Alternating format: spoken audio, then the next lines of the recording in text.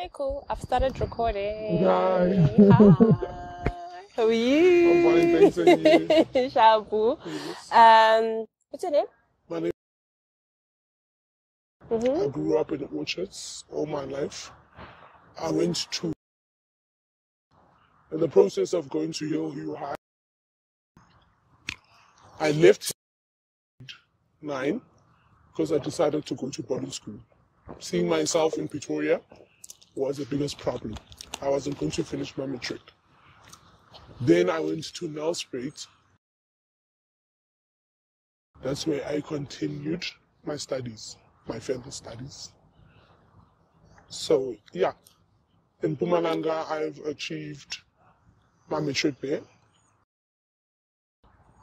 I'm a A grade student because of Mr. who owned the school. He's now late. He used to tell us that education is the key. Mostly, uh, he taught us all we needed to know in life, gave us support and all of this. In the journey of finishing my matric 20, I now embarked in, I took a gap year and then I came back. I went 2016. I went to. That's when I did my diploma in HR. I completed it. Yeah. Then I went into property. Property after school. Mm-hmm. Yes. Sales agent. I started learning there. Um, I got my tenants of selling houses there. I qualified for my NQF4 with the EAAB. And then now I'm studying again for my NQF5. My biggest dream next year is after giving birth, I want to be either a conveyancer or a lawyer. That was the biggest dream I had. But the lawyer faculty is into law is I want to study paralegal. That is the biggest dream. Then later last year, this year wasn't this year, this year, I opened my own baby company because I grew up in a tender family. But my my vision is different from tenders. Um, I was raised by my mom and my stepfather. Biologically, my father's still alive. He doesn't care about me, but that is just another thing. You know, my father took care of me when I was still four years, my stepfather, and is now dead. I have achieved so much because of that man. I am who I am today because of him. You know, I used to say if I can shift, uh, places and say he's my father, I would be there. He's your dad. He's my dad, actually. My dad is still alive, but the late one, I find it, Kuti, he is my dad. You know, I've achieved so much support from him to a point that I I own a lot now. Yeah, gradually. Support there I was so much. I miss him so much. I I used to feel Kuti, if he does he didn't leave two years ago, by now all those drug issues I wouldn't be having. But I'm recovered and I don't think I would go back. You know. My drug issue started my mom doesn't even know about it, but even if she finds out, now it is actually time. My drug issue started when I was dating a guy that I dated. I had I was working mostly when I lost everything. You know, the concept in Ayahora. I've I had everything. I had a job. I had you know, and now everything is tarnishing into thin air. It got to a problem where we used to spend time more, more not here, at home. Home. I was still staying with my mom. To a point where he said how uh, people are not sleeping, the influence. When you're sleeping in the car, we're having fun. I was drinking alcohol then. We're having fun when you're sleeping. Try. That's how I started. You know? Not What was it? Not even crystal, but we call it white. Mm. To an influence that my cousin was doing it, and I did not know. Mm-hmm. So I started then. Then I met up with my boyfriend, baby daddy, he was selling too. So you see, I couldn't hustle for it because with my background, I always had an allowance, and I still do. How much were you having then? Every day, every month, Mm? allowance five thousand from my mom. At what age? Now that I started in February, Okay. you know, so it wasn't a struggle to get it. And now remember, in Nanasne man, yeah, and he asked me out advantage of me buying, I could say. Uh, white doesn't take too much money, like Nyaope and Crystal. The demand is when you're smoking the whole day, the nose will block. You're going to have a withdrawal. Do you know? You won't smoke again because um, your nose are closed. It tells you to sleep. Obviously, they're not going to work anymore. The drugs don't work anymore. They are not even addictive to that point. But mentality and concept, because you're trying to hide all your pain in the drugs, tells you to smoke, smoke, smoke, smoke until But what kind of effect does it give? you become hyper. You don't sleep. Oh, it's okay. Yeah, but then For days and days on end. No, maybe the whole day. If you don't eat in the morning, then what will happen is um, if you don't drink water, you have fatigue. Fatigue meaning you are very tired, you can collapse anytime. And remember now, the white, we call it white, you you can't eat because it already closed your layer. It closes the, the the layer, the part where you have to eat, and then you start vomiting food. Do you understand? Hmm. Hmm. That is right. So the, the, If you skip a meal in the morning, you don't have full meal, and you just start by smoking, you will never eat that day. Hmm. You're always on liquids, sweets. Even if you force, gradually, after five minutes, you're going to vomit. hmm. Okay. And when did you start? When I lost my job, February. Yeah, February. This year. Yeah, this year. Okay. February, March. And you stopped. You stopped um, when you fell pregnant. April. Okay. Yes. Was it easy to stop? Mm, yeah, because it's not addictive. It is the concept of the mind, right? When the mind tells you that you are in stress and you start depending on the brand, and you are telling yourself, um, ah, when you're smoking, you don't see your problems. You must remember, all your problems go, boom. You are happy, you're, you talk too much, you're entertaining people. When it finishes, it says go for more. Now, I used to say I have an addictive personality.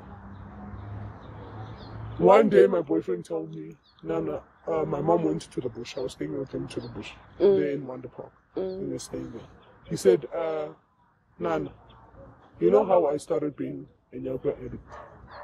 I'm seeing you, you're heading there. I don't want you to have that life. It's either you quit together or you quit. That's how I started dating my boyfriend.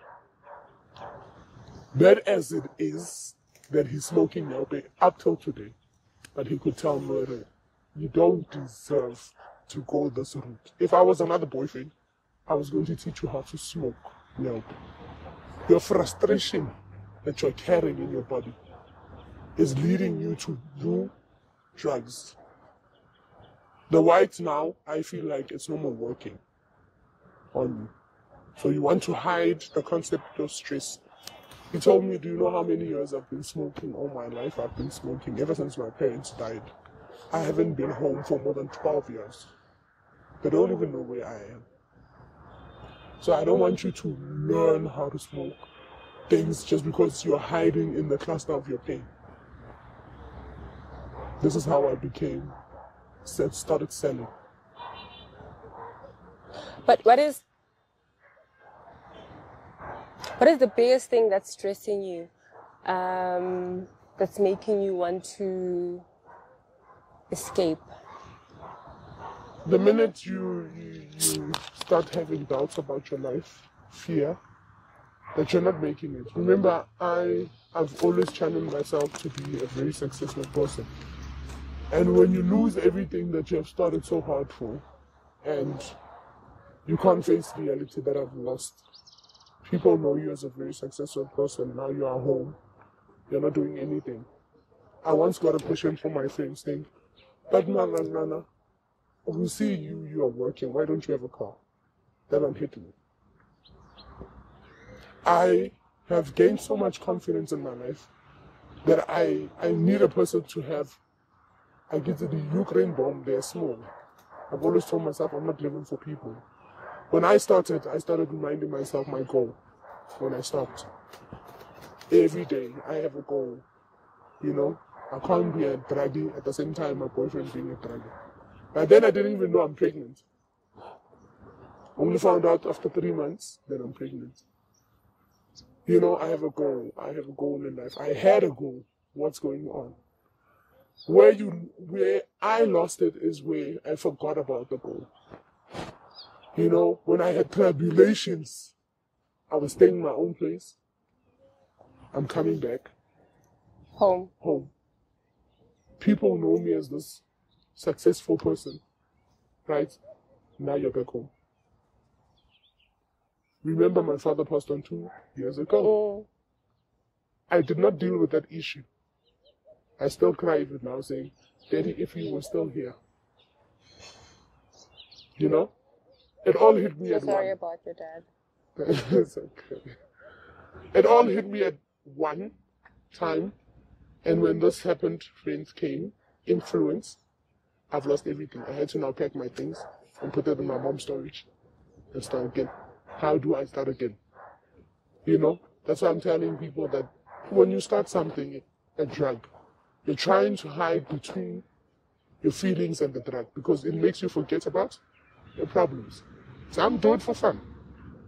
But mainly me, when I started, there was influence because of the pain. And then I quit when my boyfriend still smoking. Thanks to him, up till today, I was going to be saying I will smoke now. Because now you remember a substance says mailing. You tried this one. Yes. But he always said withdraw. You know? That's why when I look at him sometimes I say, people ask me, what do you do your piece?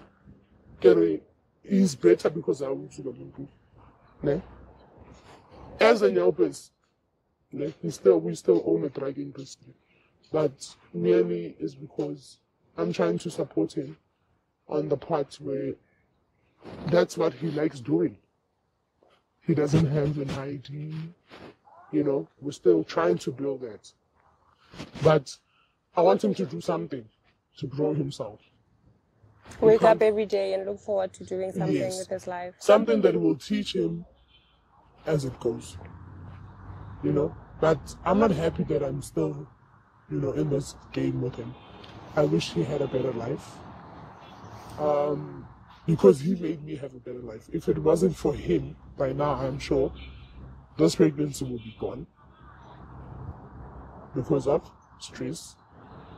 But if he was a better person to me, you know, when you get a boyfriend that smokes these days, it teaches you gradually to move from what you you don't feel anymore to crystal. Crystal now, baby, what you hear that baby was smoking out. But he said, soft, go back to your dream. That is what he taught me. The special kind. Yeah, a truly blessing. I, I look at him every day and I say, God, if I can get a rehab that can help him become a better person, how he helped me. You know, all you need is support. And you can't go to your mom and say, Mama, I'm smoking drugs.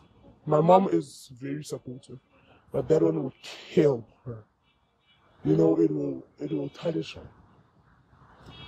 Thanks to him, his gradual support was was over the moon. But now I look at how we started a new business, which I'm not proud of.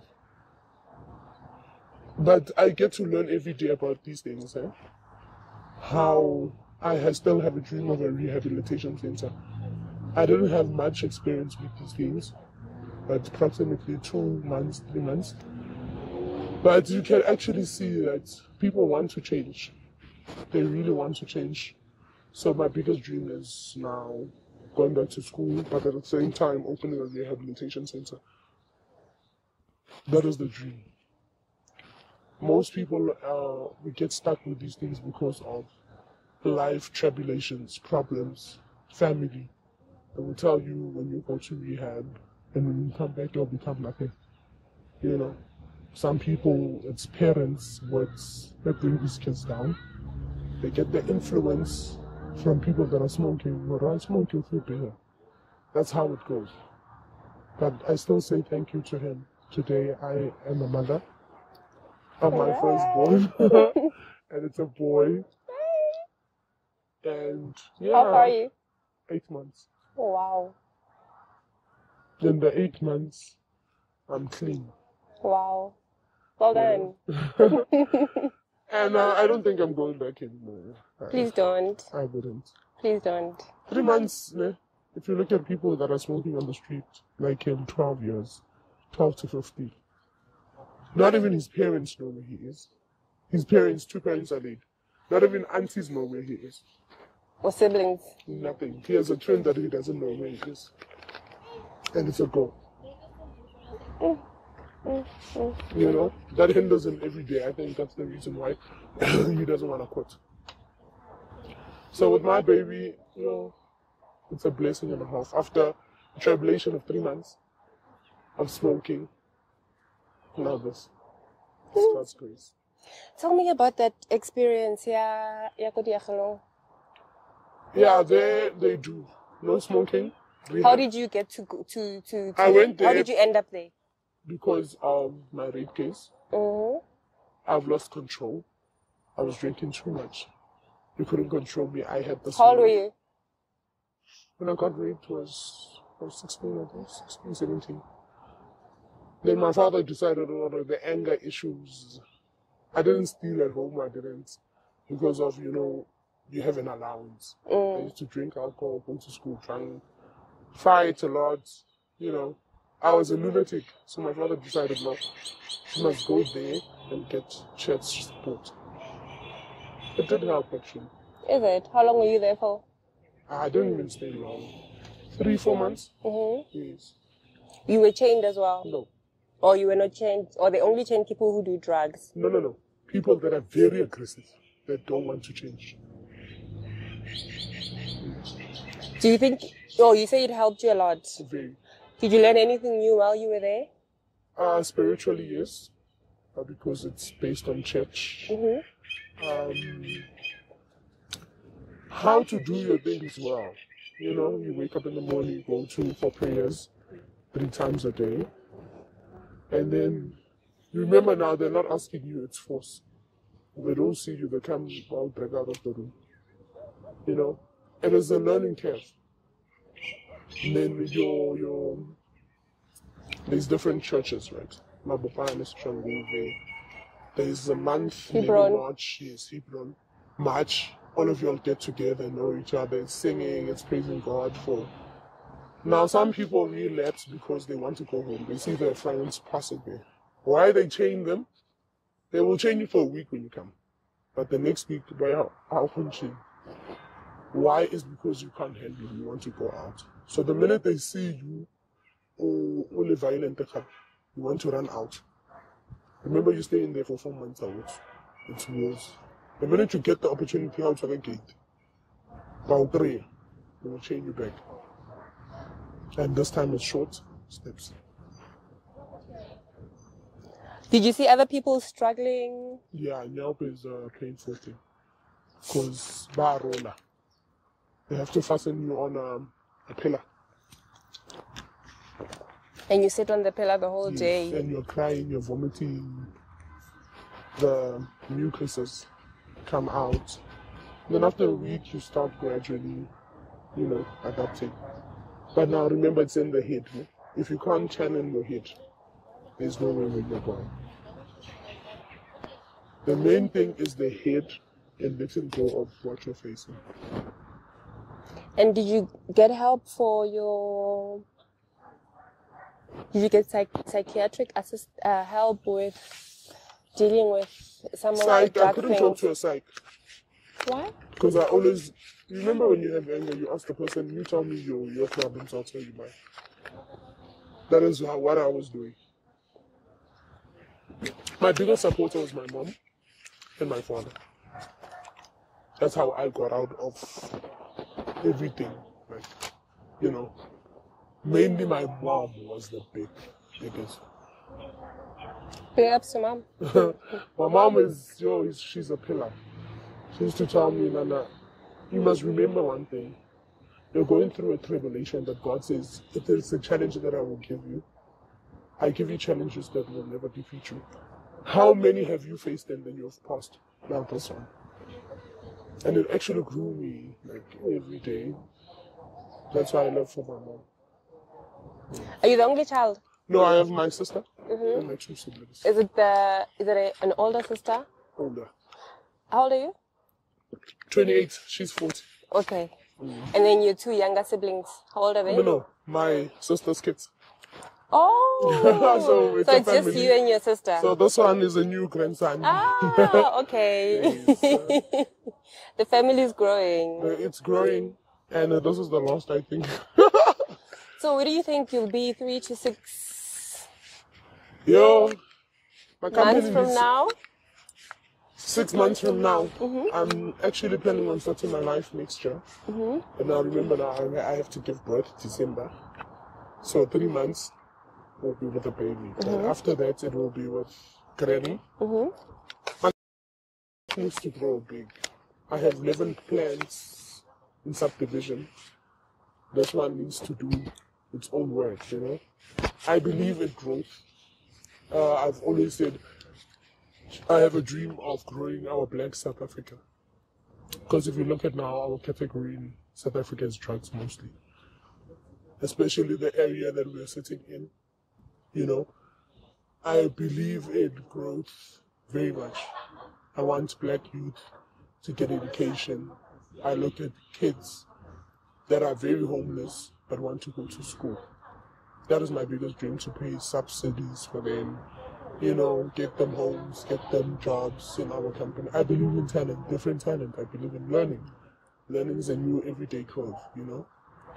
That is my biggest dream. That's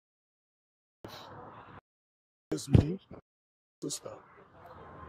I felt that my sister had a dream. She still has a dream. So I combined those names into being. I believe in every different challenge. I'm not saying I'm going to be making money, a lot of money. But remember, a company is making a lot of money. But I want to share it with my our South Africa, the day, the South Africa of tomorrow. So when they look back and they say, you know, we got courage from a woman that had so much strength in building us. It is not about the money now. It is about how they see themselves after 10 years and how do they feel when they own houses and subsidies. Especially these ones that are smoking on the street. It's not like they don't have homes, they do, actually. But when they go back to their homes and they face all those capitalist words, like you're never going to be anything in life, those are the ones that I want to grow. You understand? What do you think makes a person leave rehab today? They get home, they are welcomed, they disappear, and they go smoke again. Especially Banyaupe. merely it's not the root of what caused him to smoke. There's always a root. You know? Something that is hindering him every day. You know? Even if he goes to rehab, he's it's not because he's trying to impress you guys that ah, I am I went to rehab or he there is something that started. Remember I said you hide in between the Brexit because of what? Something that started like rape or you know. You need to start accepting self introspection on how it happened, how you know, you don't really need to rehab. Then you start you move.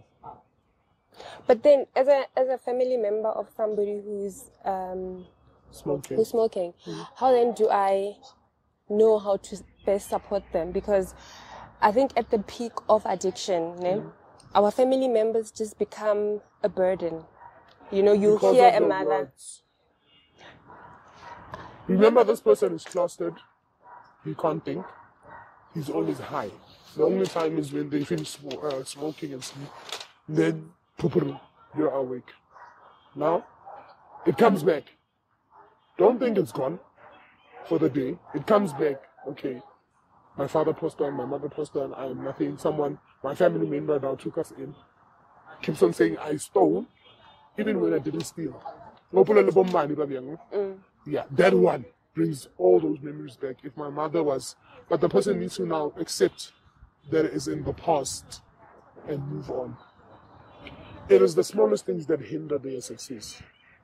Self introspection of what led you to smoking and how do you face the problem. You know? It's not friends, it's not. Remember, a friend can't put a gun to your head and say, plot, unless there's a gun. But there's always something that leads him to going to buy, and he can't face that thing. He needs to overcome that thing that is in the heart. So it's a it's a personal Personal it's a personal issue. thing. Yes. And if you see yourself going over 12 years of age smoking that, it is too personal. Then it means you're not willing to accept. Denial is the reason. Let's put it like that. You're denying. You know? But you then wish if it could happen like this, mm-hmm. not like what you're facing now. Remember, even a funeral goes through to a point that when you wake up now, you don't want to smoke, but you're feeling that pain. says, ah, when I smoke, ah, there's no pain. You know? They like to make you like, ah, you're the boss, you don't feel the pain. When the drug goes out, now you feel the pain. Okay, now you go smoke. And when you don't have money for it, you start stealing. You remember all those words that said, ah, when you're never going to make it enough. That's what leads to it. There's always a main, main route. And what about like I've interviewed so many people who are in addiction, right? And these people that I've interviewed, um, actually all of them know where to go and for help when doctors are available at this place. Hmm. They are homeless, but they're they're not really sleeping on the streets on the side of the streets. They've got their like hmm. smaller houses here and there and they know where to get help, but they're not willing to to do that. It's only, I think, out of twenty people I've interviewed, there's one person that has decided that they are going to go to COSUP and mm-hmm. attend the courses, take the methadone, mm-hmm. and go there and just take time, half a day, and go take a shower, have a healthy meal, talk to a counselor, talk to peers, mm. and attend the meetings. As I said, I said denial. You know, I think I once smoked nyaope. Yeah. You know, when I think back, ne, so we mm. went to, do you remember Raga Nights? You too, yeah. You don't know Raga Nights in oh, yes, Joburg? Raga is. We went to Raga Nights with friends, right? Mm. And when we got there, like the people, and then my friend, when I went there, she's like, don't smoke anybody else's joint. Yes, yes. I don't know, I was just too excited. Then I smoked joint there, this guy, I think his name was Moteo. And I smoked joint there, Moteo. Yes. Eh, dude, I went to the bathroom. And then everything, like, You know? Yes. like I, I was, I was feeling hot and cold at the same time. I was sitting on the floor and I was hearing people, uh, like when she was calling me, I felt like it was my voice. Like it was my voice calling No, me. that's the weed. No. I get you were not used to it. No, but we, had, we, we were smoking weed, but his Yeah, was just, because you remember drugs have Different levels. So you got the drug. There was no drug. Nyaope makes you very sleepy. really. You sleep. He sleeps a lot actually. Mm. Then he wakes up. Then talks to you, then sleeps again. So it's not bad. So what do you think a parent that has a child that's addicted to nyaope needs to do in order to help this child? Some pa- parents listen to a lot of parents that their kids don't smoke. It starts there. Needs to gradually support the child. Like, put in fully. Know that today He might just not wake up, wake up at all. He will sleep the whole week and not smoke it. Man, needs to understand when the child is feeling pain. Needs to understand when the child is feeling happy. The words that they use on them is not proper. You're saying you're supporting your child. Needs to have room for disappointment. Okay, last week he didn't smoke the whole week and then now he's doing that. Merely it supports finding out what is injuring him. Because in the rehabilitation centers, they give them methadone, they come out. There's no psych A serious. That you, you, you actually explain how you were hindered, how you got raped, or how you lost. You know? Needs to find out how it started. Judgmental things are not the ones you need to be using. Especially, I have a friend who just went to rehab of recent, but he's back on meth because of the family. His words, not the mother. The mother now neglected the child. Abisa kumman. Can't have it on man in money. Umyurang. Umutamkani useless. Pamukubile. Amako. The mother stays in Orchard to Mr. Social Booth, trying to remove her from the friends, maybe Nana no. When she got the, uh, he got there, my name I'm calling useless, he had to well happy, you know. But if the mother took the child in and said to the child, I don't think the child will a week after rehabilitation center. But do you have addicts that have you met an addict that takes accountability to say, this is how I messed up? They do talk a lot, eh? It's how you approach them. They do talk a lot, cry a lot. I have one that cries every day that uh, I was working properly. And what hindered me was the words of my family. When I lost my parents, I was staying with them. You know, how we treat kids differently. It's your kids. When you buy an ice cream for this one, this one doesn't. He embarked on going into the street now, trying to find closure in the street.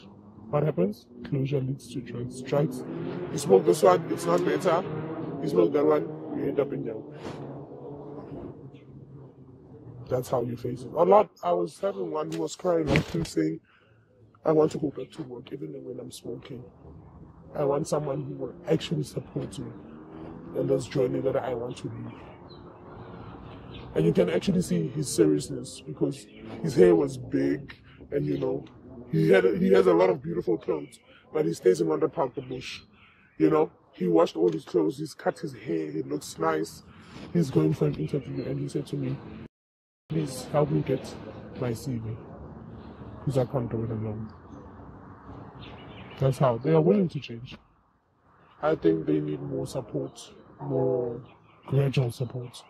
Something to do every day, like a job. Most of the things that hinder our society is um, to be jobless at that situation, you know? But they always find money to, to buy. Because they might steal your phone. That's what leads it to it. I'm not working. I have to now think of a plan to smoke. But if our South Africa was more lenient, I think if our um, what's this constitution was more lenient, they would let them both and have jobs. Go to the spa, help them. We should have a base where they take their CVs. If they're serious though, you know and where they're keeping them for rehab or maybe helping them with certain food or a person, a land, basically, where they can build a structure, keep them there, like America. America, recovering addicts, there's a place where they keep them, all of them. They look for jobs for them. Like an in the system. Yes, in the system. They are there. But is there any help for addicts in Pretoria No, not around. Not around. We don't. Because I know the SANCA, but it's in. Uh, SANCA now, these people. No, but it's in Soshanguve, mm, the one that's. They can still go through. Because Opala SANCA sometimes keeps you there for six weeks and then they bring you back home. No, but the Soshanguve one is an outpatient. Outpatient meaning coming back home.